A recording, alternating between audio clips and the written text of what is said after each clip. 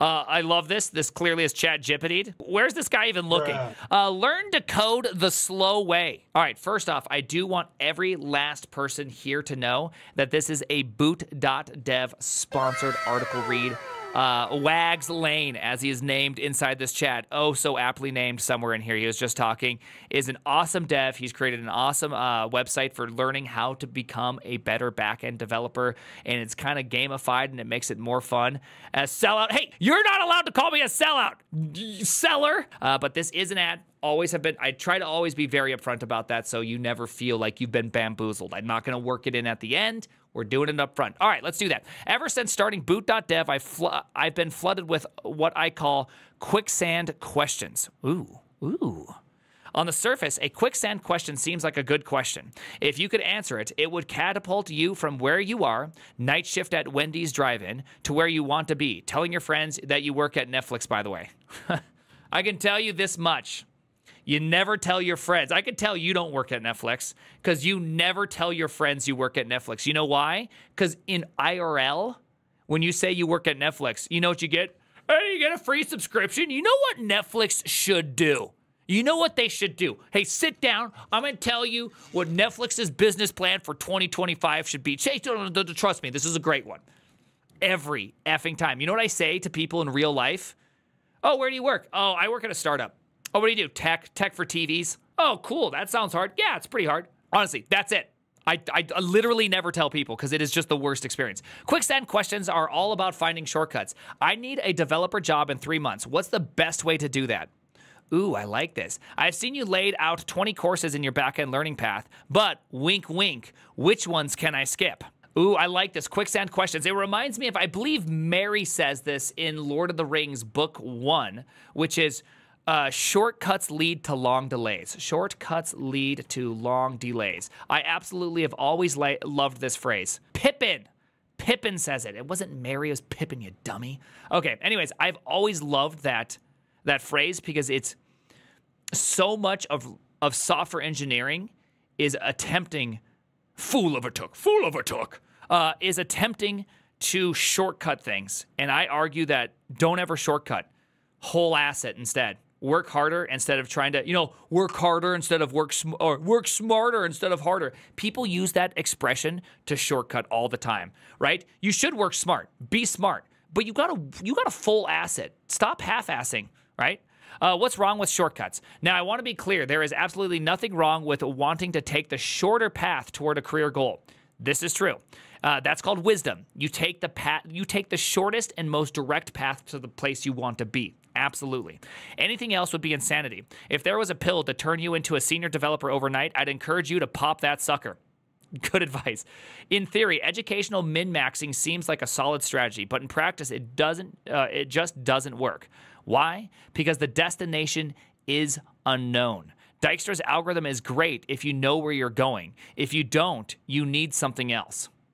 It's a fact. No one knows where they're going. Uh, okay, interesting. Let's let's find out. The tech scene is a cluster asterisk of complexity. I learned like ten different programming languages in college, and even three years into my degree, I still don't know that I ended up working as a backend engineer writing Go, or I still don't know uh, why that I ended up Okay. Uh, I interviewed for all sorts of nonsense, from embedded systems to front end development. Yeah, turns out my uh, Prolog classes didn't help much in my first interview, but you know what? It didn't hurt. And now, when someone says it's a de- declarative system, my facial expression doesn't betray my ignorance. it's a declarative system. I know this. that's, I, that's actually that's actually that's actually pretty good. This, this is a fact like that's why I, I, you know again I we just got done explaining this via Excalidraw, right? We just got done talking about this via Excalidraw, but having a breath like it's good to have that good T curve, right? You want a, a mastery, you want to start developing a mastery in something. But I think people pick the first thing as the thing they're going to master, and then their T curve.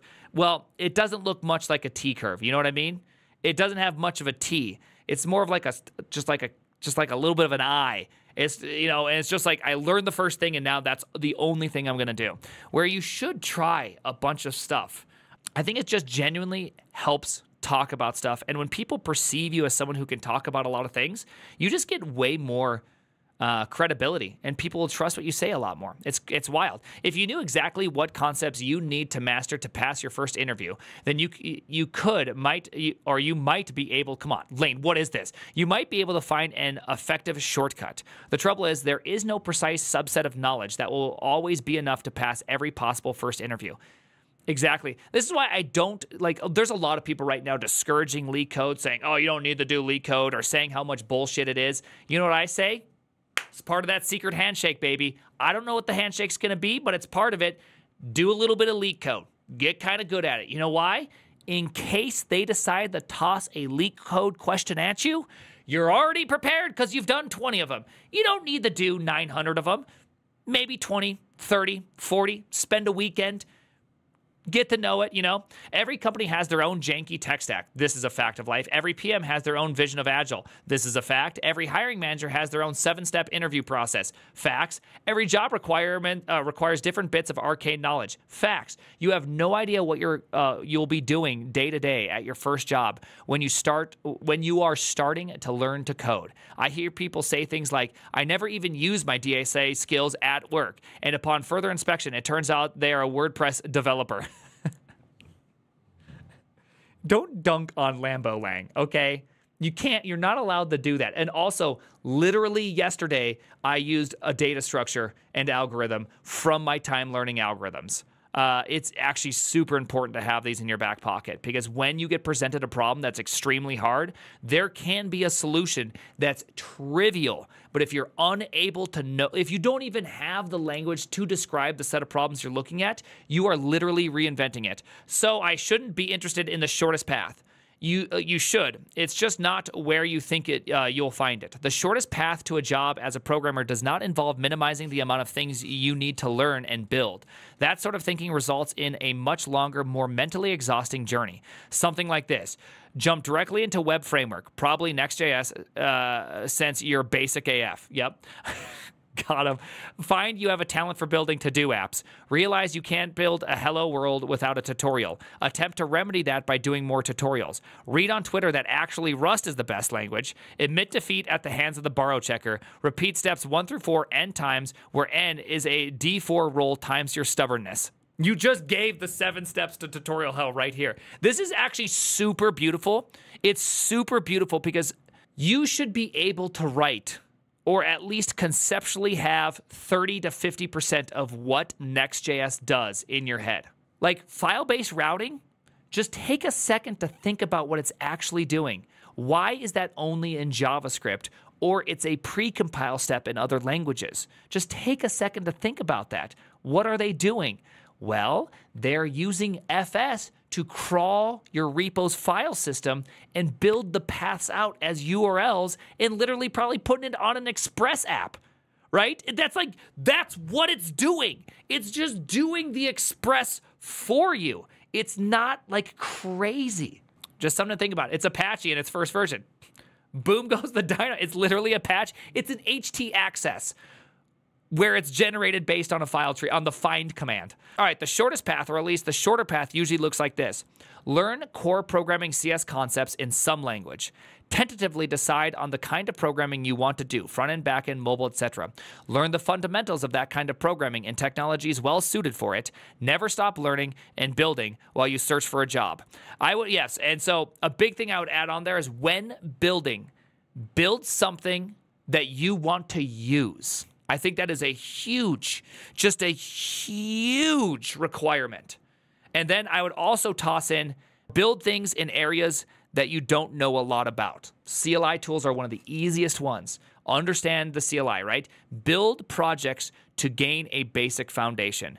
And when you get stuck, don't look for a tutorial. Google your way into the building. Meaning that you could look for a tutorial how to create a to do app in Svelte. Okay, fine.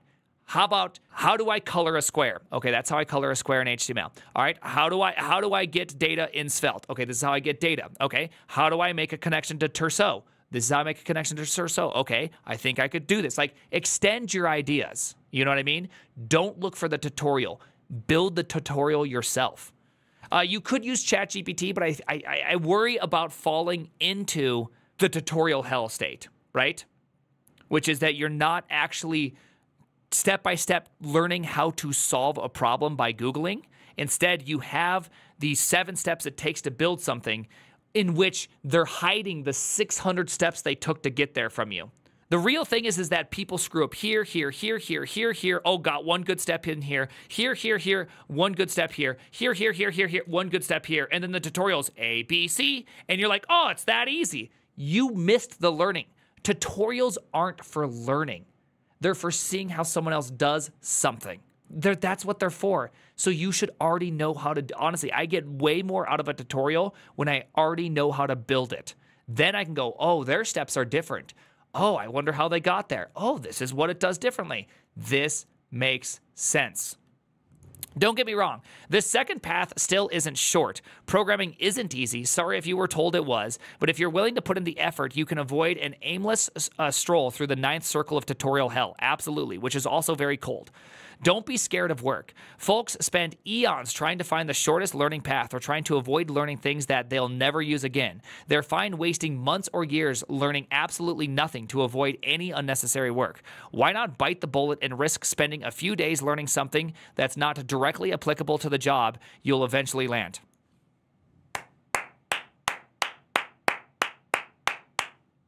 The point of, I mean, my personal point of learning or growing is to explore the things that interest me. You know what I mean? The things that interest me are the ones that are going to get me to keep going. Those are the things that are going to make me learn one step more. Let's be a bajillion percent honest. Some folks are looking for good old fashioned get rich quick scheme. After a few weeks of struggling with loops, they'll give up and purchase an AI powered crypto trading bot on Fiverr. Don't be like those folks. Becoming a software engineer is not a get quit uh, rich quick scheme. It's a get upper class, uh, upper middle class slow scheme. it's actually is a great statement. Get statistically above median income, but it also takes 10 years of really hard effort to get somewhere where you get something. Uh, the trick to making it, you actually have to get good. So instead of copy pasting haphazardly from Stack Overflow to fix the next error you encounter, take an extra minutes to figure out what it means. I can't begin to tell you how many PRs I've reviewed that fix something, but are just patch of a patch because the dev never grokked the underlying problem. For example, an ex Java dev, it's always a Java dev, finds some finds that sometimes this function in Go panics. Send email. So they go straight to Google and find that panicky in Go can be solved with a recover. So they open a pull request. Ba-bam, ba-bam. Okay, this kind of works. But a better developer would try to understand and fix the underlying problem in the code. They would add nil checks or just stop using pointers altogether for this function. Real talk, that is great. I've been guilty of I, I, I've been guilty of this. We've all been guilty of this. Sometimes it's easier just to take this step. It just is. And sometimes for your job, you have to take that step. So learning when to do which one is also a skill, even onto itself. Right? Sometimes you just have to be like, hey, yo, to fix this properly is like two weeks worth of work. To fix it now is a Friday afternoon mentality. It's it's true though. Sometimes the Friday afternoon mentality is the greater of the two. You want to have a bias towards becoming better, not reaching the end. Ooh, I love that. There is there isn't an end. There's too much to learn out there. The scope uh, of all of the software engineering is larger than the scope of your last program's global namespace. Facts. It's not the advice you wanted. Getting fit, giving up addiction, building a business, and yes, getting your first dev jobs are all hard. Don't make it harder on yourself by wasting your time searching for shortcuts. Learn evergreen foundational stuff, build uh, projects that interest you, and you'll be amazed how far you can get in the last year or two of consistent effort. This is really good. I like this. Thank you for this. Elaine, this was a great article. I actually, this was actually, this is just 10 out of 10 advice. Okay, this is why, again, I, I do recommend boot.dev. Remember, I make courses on front end master, so technically this would be like a direct competitor in some sense. They're really good. I really trust what Lane has to say, and I think that you should go and check them out. Okay? Even though this is an ad, I actually believe that because Lane's a badass. The name is the Primeagen.